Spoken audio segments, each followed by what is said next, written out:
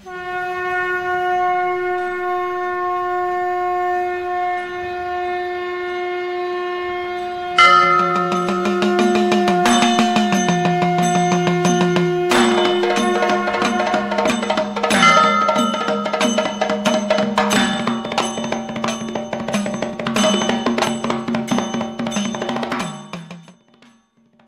തമ്പുരാന്റെ കഥ തുടരാണ്.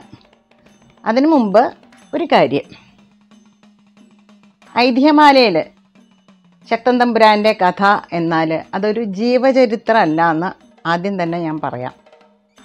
അതിലൊരുപാട് സംഭവങ്ങൾ വിവരിച്ചിട്ടുണ്ട്. പക്ഷെ അതൊന്നും കാലഗണന അനുസരിച്ചിട്ടല്ല. അതായത് ക്രോണലോജിക്കൽ ഓർഡറിലല്ല. ചില കാര്യങ്ങൾ അദ്ദേഹം പ്രതിപുരുഷനായിരിക്കുമ്പോൾ ഉണ്ടായ സംഭവങ്ങളാണ്. മറ്റു ചിലത് അദ്ദേഹം മഹാരാജാവായിട്ടിരിക്കുമ്പോൾ ഉണ്ടായ സംഭവങ്ങളാണ്. അപ്പോൾ ഇത് രണ്ടും കൂടി ഇടകലർത്തിയിട്ടാണ് കൊട്ടാരത്തിൽ ശങ്കുണ്ണി അവർകൾ ഐതിഹ്യമാലയിൽ എഴുതിയിരിക്കുന്നത്. അപ്പോൾ ഈ ഒരു പോയിന്റ് ഇത് മനസ്സിൽ വെച്ചുകൊണ്ട് വേണം ഈ കഥ കേൾക്കാൻ. അപ്പോൾ കഥ തുടരാം.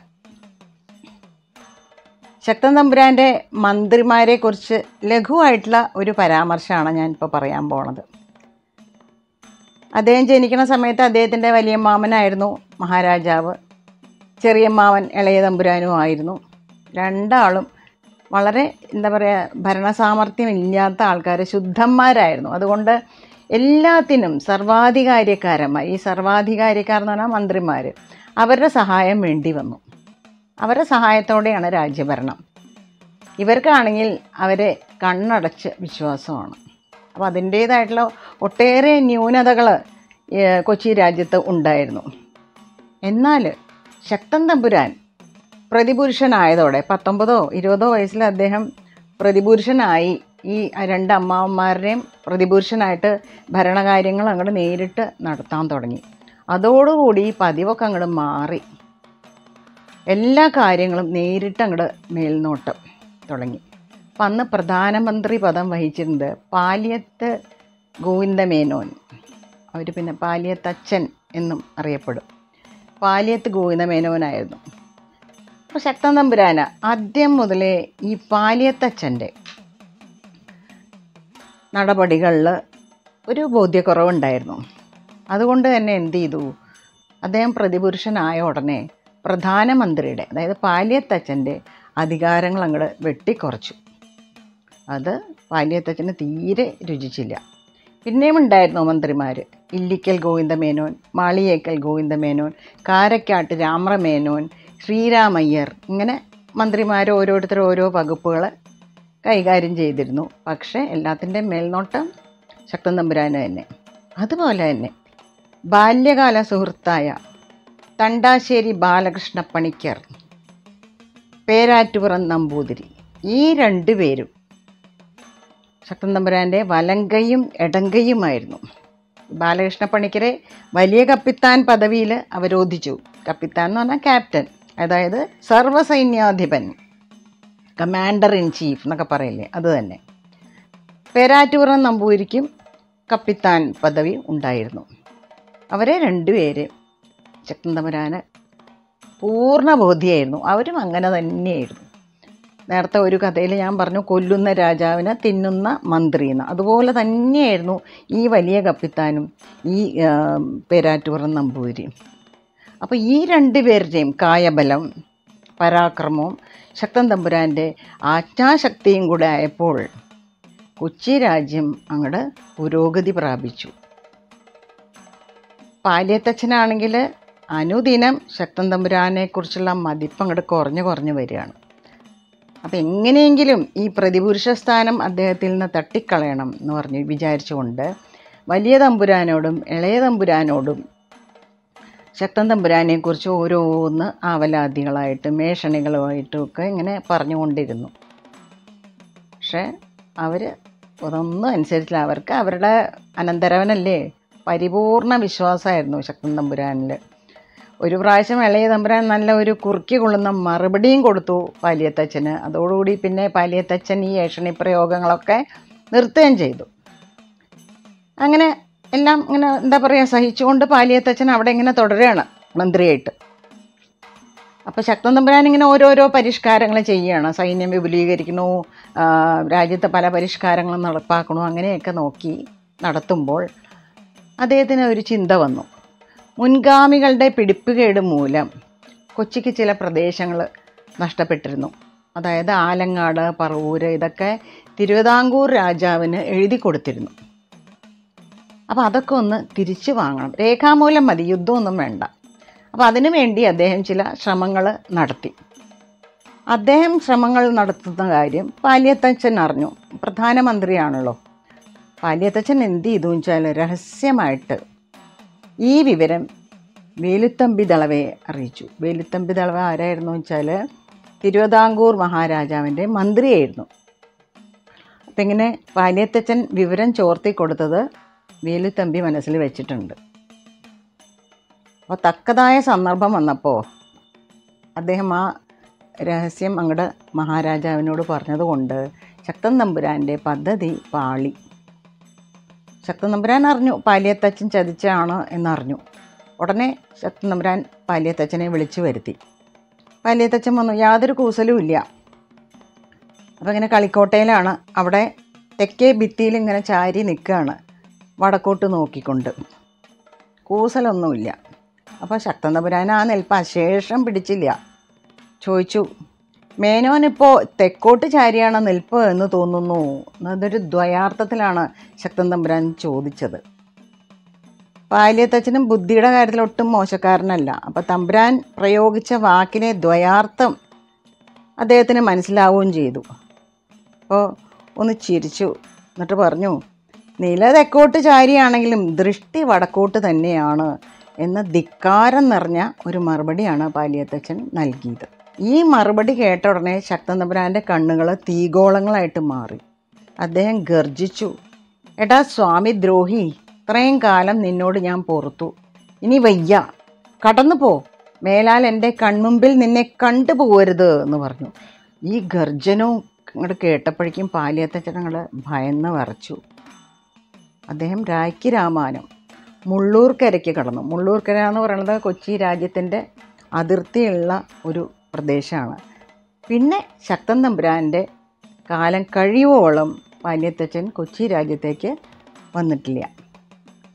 ഇതുപോലെ തന്നെ ശക്തൻ തമ്പുരാന്റെ ആജ്ഞാശക്തിക്ക് മുമ്പിൽ പതറിപ്പോയവരുടെ കൂട്ടത്തിൽ തിരുവിതാംകൂർ മന്ത്രിമാരായിരുന്ന കേശവപിള്ള ദിവാൻജി കുഞ്ചിക്കുട്ടിപ്പിള്ള സർവാധികാരിക്കാർ വേലുത്തമ്പി ദളവ ഇവരുടെ പേരുകൾ കൂടി ചേർക്കേണ്ടതുണ്ട്. ശക്തൻ തമ്പുരാന്റെ മുമ്പിൽ ഇവർ വ്യാഗ്രത്തെ കണ്ട ആട്ടിൻകുട്ടികളെ പോലെ നിന്ന് വിറച്ച ചില സംഭവങ്ങൾ ഐതിഹ്യമാലയിൽ പറയുന്നുണ്ട്. അത് വഴിയെ പറയാം. വേലുത്തമ്പി ദളവ. ധർമ്മരാജ എന്ന അപരനാമധേയത്താൽ പ്രശസ്തനായ കാർത്തിക തിരുനാൾ രാമവർമ്മ മഹാരാജാവ് തിരുവിതാംകൂർ വാണിരുന്ന കാലം. അദ്ദേഹത്തിന്റെ മന്ത്രിയായിരുന്നു വേലുത്തമ്പി ദളവ. കാർത്തിക തിരുനാൾ മഹാരാജാവും ശക്തൻ തമ്പുരാനും തമ്മിൽ വളരെ അടുത്ത സൗഹൃദം ഉണ്ടായിരുന്നു. അതുകൊണ്ട് തന്നെ മഹാരാജാവ് തീപ്പെട്ടപ്പോൾ തന്റെ വലത് കൈ അറ്റുപോയി എന്ന് പറഞ്ഞുകൊണ്ടാണ് ശക്തൻ തമ്പുരാൻ സങ്കടപ്പെട്ടത്. കാർത്തിക തിരുനാളിന് ശേഷം തിരുവിതാംകൂർ മഹാരാജാ സ്ഥാനം വഹിച്ചത് അദ്ദേഹത്തിന്റെ പിൻഗാമിയായ അവിട്ടൻ തിരുനാൾ ബാലരാമവർമ്മയായിരുന്നു. അദ്ദേഹം ഒരു സാധുശീലനായിരുന്നു. കുതന്ത്രങ്ങളൊന്നും അറിയില്ല. പക്ഷേ മന്ത്രി വേലുത്തമ്പി ഇതളവുള്ളത് കൊണ്ട് നല്ല ഭംഗിയായിട്ട് രാജ്യഭരണമൊക്കെ നടന്നു പോയിക്കൊണ്ടിരുന്നു. ആ സമയത്താണ് ശക്തൻ തമ്പുരാന് ഒരു ചിന്തയുണ്ടായത്. തന്റെ പൂർവികരുടെ പിടിപ്പുകേട് മൂലം കൊച്ചിയുടെ അധീനതയിലായിരുന്ന നാല് സ്ഥലങ്ങൾ കരപ്പുറം പന്തിരുകാതം ആലങ്ങാട് പറവൂർ. ഈ നാല് ദേശങ്ങൾ കൊച്ചിക്ക് കൈമോശം വന്നു പോയിട്ടുണ്ട്. അത് തിരുവിതാംകൂറിന് എഴുതി കൊടുത്തു പൂർവികർ അപ്പോൾ യുദ്ധം കൂടാതെ അവ ഏത് വിധവും തിരിച്ചെടുക്കണം. അതിന് പറ്റിയ ഒരു അവസരമാണല്ലോ ഇത് എന്ന് തോന്നി. കാര്യം എന്താ വെച്ചാൽ ഈ ബാലരാമവർമ്മ മഹാരാജാവ് ഒരു സാധുവാണ്. അദ്ദേഹത്തെ തൃപ്പൂണിത്തറയെ വിളിച്ച് വരുത്തി അനുനയപൂർവം സംസാരിച്ചാൽ അദ്ദേഹം ഈ ദേശങ്ങളെ തിരിച്ചെഴുതി തരും എന്നായിരുന്നു ശക്തൻ തമ്പുരാന്റെ പ്രതീക്ഷ. ഈ ശക്തൻ തമ്പുരാന്റെ ഈ ഉദ്ദേശം മന്ത്രിയായ പാലിയത്തച്ഛന് അറിയുകയും ചെയ്യാം. അദ്ദേഹം അതെങ്ങനെയോ രഹസ്യമായിട്ട് വേലുത്തമ്പി ദളവ വേലുത്തമ്പി ദളവയും പാലിയത്തച്ഛനും വലിയ സുഹൃത്തുക്കളാണ്. അപ്പോൾ ഈ രഹസ്യം ശക്തൻ തമ്പുരാന്റെ ഉദ്ദേശം ഇതാണ് എന്നുള്ളൊരു രഹസ്യം പാലിയത്തച്ഛൻ വേലുത്തമ്പിയെ അറിയിച്ചിട്ടുണ്ട്. അങ്ങനെ കുറച്ച് ദിവസം കഴിഞ്ഞപ്പോൾ ബാലരാമവർമ്മ മഹാരാജാവ് വൈക്കം ക്ഷേത്രത്തിൽ തൊഴാൻ വരുന്നു എന്ന് ശക്തൻ തമ്പുരാന് അറിയിപ്പ് കിട്ടി. തിരുവിതാംകൂർ രാജാക്കന്മാരൊക്കെ കൂടെ കൂടെ വൈക്കം പെരുന്തൃക്കോവിലിൽ വന്ന് ശിവനെ തൊഴാറുണ്ട്. അപ്പോൾ വരുന്ന ദിവസമൊക്കെ നേരത്തെ അറിയിപ്പ് കിട്ടിയതനുസരിച്ച് ശക്തൻ തമ്പുരാൻ എന്ത് ചെയ്തു വെച്ചാൽ എങ്ങനെയും ബാലരാമവർമ്മയെ തൃപ്പൂണിത്തറയ്ക്ക് ഒന്ന് ക്ഷണിച്ചു കൊണ്ടുവരണം. ആ ഉദ്ദേശത്തോടു കൂടി ചിറ്റമ്മ തമ്പുരാന്റെ പുത്രനായ കുഞ്ഞുണ്ണി തമ്പുരാനെയും പ്രധാനമന്ത്രിയായ പാലിയത്തച്ഛനെയും കൂട്ടി വൈക്കത്തേക്ക് വിട്ടു. അവരവിടെ വൈക്കത്ത് ചെന്നു. ക്ഷേത്രത്തിലെത്തി. അവിടെ ബാലരാമവർമ്മ മഹാരാജാവുണ്ട്. വേലുത്തമ്പി ദളവയുണ്ട്. അകമ്പടിക്കാരൊക്കെ ഉണ്ട് അപ്പം മഹാരാജാവിന്റെ ദർശനമൊക്കെ കഴിഞ്ഞപ്പോൾ കുഞ്ഞുണ്ണി തമ്പുരാൻ അദ്ദേഹത്തോട് പറഞ്ഞു ജ്യേഷ്ഠന് ഒരാഗ്രഹമുണ്ട്. അവിടുന്ന് ഇവിടുത്തെ ദർശനം കഴിഞ്ഞാൽ ഒന്ന് തൃപ്പൂണിത്തറ വരെ വന്ന് പൂർണത്ര ഈശനെയും തൊഴുത് ജ്യേഷ്ഠന്റെ സൽക്കാരം സ്വീകരിക്കണം. അതിന് ക്ഷണിക്കാനാണ് ഞാൻ വന്നിരിക്കുന്നത് എന്ന് പറഞ്ഞു. വേലുത്തമ്പി തളവ് അത് കേട്ടുകൊണ്ട് നിൽക്കുകയാണ്. വേലുത്തമ്പി തളവയുടെ ഉപദേശപ്രകാരം ബാലരാമവർമ്മ വിനയപൂർവം ആ ക്ഷണം നിരസിക്കുകയും ബോട്ടിൽ കയറി തിരുവനന്തപുരത്തേക്ക് മടങ്ങുകയും ചെയ്തു. കുഞ്ഞുണ്ണി തമ്പുരാനും പാലിയത്തച്ഛനും തൃപ്പൂണിത്തറയ്ക്ക് മടങ്ങി. നിരാശയാണ് അപ്പോൾ നിരാശരായിട്ട് മടങ്ങി. അവിടെ കടവത്ത് ബാലരാമവർമ്മയെ സ്വീകരിക്കാൻ ഗംഭീര ഏർപ്പാടുകളൊക്കെ ആയിട്ട് ശക്തൻ തമ്പുരാൻ ഇങ്ങനെ കാത്തു നിൽക്കുകയാണ്. കുഞ്ഞുണ്ണി തമ്പുരാൻ ഈ വിവരമൊക്കെ പറഞ്ഞപ്പോൾ ശക്തൻ തമ്പുരാൻ കടുത്ത നിരാശയായി. ഇതിനൊക്കെ പിന്നിൽ ആ വേലുത്തമ്പിയാണ് അദ്ദേഹം നിശ്ചയിച്ചു. നേരെ പൂർണത്രയീശന്റെ അമ്പലത്തിലേക്ക് അങ്ങോട്ട് ചെന്നു. സോപാനത്തിൽ നിന്ന് ഇങ്ങനെ പ്രാർത്ഥിച്ചു. ഭഗവാനെ ആ വേലുത്തമ്പി എന്നെ അപമാനിച്ചിരിക്കുന്നു. ഇന്നേക്ക് നാൽപ്പത്തൊന്ന് നാൾക്കകം അവനെ എന്റെ കാൽ കീഴിൽ കൊണ്ടുവന്ന് തരണേ എന്നങ്ങോട്ട് പ്രാർത്ഥിച്ചു. എന്നിട്ട് എന്ത് ചെയ്തു? തന്നെ വഞ്ചിച്ചത് പാലിയത്തച്ഛനാണെന്നും അദ്ദേഹത്തിന് മനസ്സിലായി. തന്നെ വഞ്ചിച്ച പാലിയത്തച്ഛനെ അന്ന് തന്നെ നാട് കടത്തി മുള്ളൂർക്കരയ്ക്ക് പിന്നെ ശക്തൻ തമ്പുരാൻ മരിക്കുവോളം പാലിയത്തച്ഛൻ കൊച്ചിക്ക് വന്നിട്ടേ ഇല്ല. ദിവസങ്ങൾ കഴിഞ്ഞു. തിരുവനന്തപുരത്ത് വേലുത്തമ്പി തളവ ഒരുപാട് പരിഷ്കാരങ്ങളൊക്കെ നടപ്പിലാക്കി. അതായത് പ്രത്യേകിച്ചും സൈന്യത്തിൽ അവരുടെ ചില ആനുകൂല്യങ്ങൾ പട്ടാളക്കാർ അതൊക്കെ വെട്ടിക്കുറിച്ചു. അങ്ങനെ പല ഭരണ പരിഷ്കാരമൊക്കെ നടപ്പാക്കി നടപ്പാക്കി വന്നപ്പോൾ പട്ടാളക്കാരങ്ങളുടെ രോഷാകുലരായി. അവർ ദളവയ്ക്കെതിരെ തിരിഞ്ഞു. അവർക്ക് വേറൊരു ധാരണയും കൂടി ഉണ്ടായി. അന്ന് ബ്രിട്ടീഷ് റെസിഡന്റ് ആയിരുന്ന മെക്കാളി സായിപ്പും കൂടെ ഈ ദളവയോടൊപ്പം ചേർന്നിട്ടുണ്ടോ എന്നൊരു സംശയം. അപ്പോൾ ഈ രണ്ട് പേര് മെക്കാളി സായിപ്പിനെയും ദളവയെയും വകവരുത്തണം എന്ന് പറഞ്ഞ് അവരങ്ങോട്ട് ഒരു സമരത്തിന് പുറപ്പെട്ടു. വേലുത്തമ്പി ദളവ ആകെ ഭയന്നു പോയി. അവിടുന്ന് പലായനം ചെയ്തു കൊച്ചിയിൽ അഭയം തേടി. പക്ഷെ എന്താ കൊച്ചിയിലെത്തിയപ്പോൾ ബ്രിട്ടീഷുകാർ വേലുത്തമ്പി ദളവയെ കൈയൊഴിഞ്ഞു. അവർ എതിരായി വേലുത്തമ്പിക്ക്. യാതൊരു ഗത്യന്തരവും ഇല്ലാതായപ്പോൾ വേലുത്തമ്പി തിളവ തൃപ്പൂണിത്തറയ്ക്ക് ഓടി. അവിടെ ശക്തൻ തമ്പുരാൻ ഉണ്ടല്ലോ അങ്ങടേക്ക് ഓടി. എന്നിട്ടൊരു പറ നിറച്ച് സ്വർണപ്പവൻ അദ്ദേഹത്തിന് തമ്പുരാന്റെ കാൽക്കൽ ഇങ്ങനെ ചൊരിഞ്ഞിട്ട് കൊടുത്തു.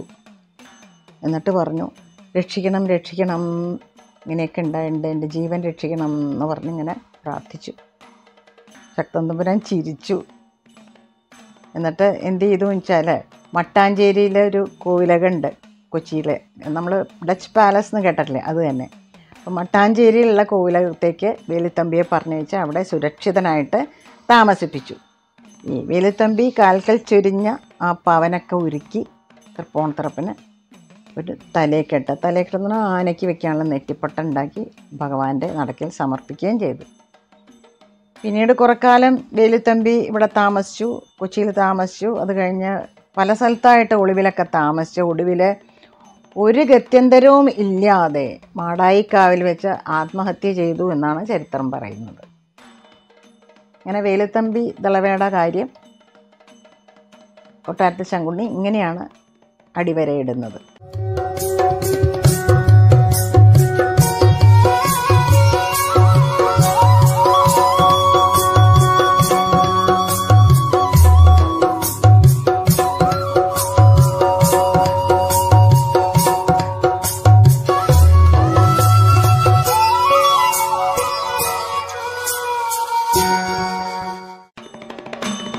ഐതിഹ്യമാല കഥകൾ. തിങ്കൾ മുതൽ വെള്ളി വരെ മലയാളം ഡെയിലി ന്യൂസ് എന്ന യൂട്യൂബ് ചാനലിൽ. ഐതിഹ്യമാല കഥകൾ കൂടാതെ മലയാളത്തിലെ പ്രശസ്തരായ എഴുത്തുകാരുടെ കഥകൾ ഉൾപ്പെടുത്തിയ വായനാലോകം ഭാഗവതത്തിലെ സമ്പൂർണ കഥകൾ മോട്ടിവേഷണൽ കഥകളുമായി ശുഭദിനവും ശുഭരാത്രിയും പ്രതിദിന വാർത്തകൾ എന്നിവ സ്ഥിരമായി ലഭിക്കാൻ മലയാളം ഡെയിലി ന്യൂസ് എന്ന യൂട്യൂബ് ചാനൽ സബ്സ്ക്രൈബ് ചെയ്യുക. നോട്ടിഫിക്കേഷനായി ബെല്ലൈക്കൺ അമർത്തുക. Daily news. വിരൽ തുമ്പിൽ വിരിയുന്ന വിസ്മയം.